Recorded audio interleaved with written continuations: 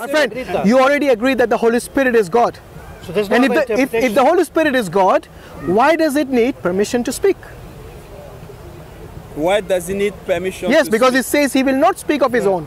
No, Does no, God no, speak no. of his own? We are talking about the two entities that is mentioned in John 16 13. One is the Holy Spirit, and the other is God Almighty. If God Almighty is telling the Holy Spirit what to speak, when to speak, if God Almighty is telling Jesus in another verse, I can show you the verse, what to speak and when to speak. Okay, Does God need permission to speak? okay. I, I, I, my answer is this verse you are interpreting wrongly. That's my answer. Forget about verse interpretation. I'm asking this you. particular verse. No, no, ma- forget the verses now. Based on your understanding of what you believe in the Bible and your understanding of Christianity, yes, does God need permission to speak? Does God need permission to speak? Yes. God doesn't need. You know, I ask a Muslim this question, he'll, no. he will answer it without He thinking so answered, he long. God doesn't yes. need permission to speak. Yeah. Okay, does the Holy Spirit need permission to speak? Does the Holy Spirit need permission to speak? Yes. Does the Holy Spirit need permission to speak?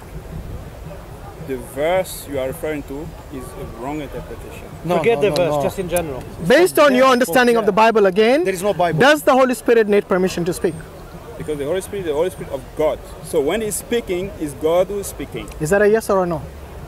Does the Holy Spirit need permission to speak? Permission from who? Regardless of anyone. Does the Holy Spirit need permission? You see, he didn't ask the same question about God. Hesitation. Yeah. There we go. No, because you're, You didn't. you're- When I asked you you about God, does God need already. speak Do- permission do to speak? you- know You didn't say permission from what? God. You know already. You know, when, when I asked you, does God need permission to speak? You did not ask the question Yeah. from whom? But with the Holy Spirit, you ask this question. Why? Unless you Normally- see them as normally different. the- Unless you see them as different Okay, entities. uh, you know, it's very fast. I'm trying to. Okay, no problem. Okay, okay. Does the Holy Spirit need permission to speak? The Holy Spirit is speaking on behalf of God. That wasn't my question. So, so he's My question is very simple. Does the Holy Spirit need permission to need speak? permission to speak. Okay, so basically no. Okay, so over here when he says he will speak whom he hears, whom does he hear? Hmm. Whom does- Wait, wait, wait, wait. The question is, Who's talking whom does the Spirit listen to in order to speak?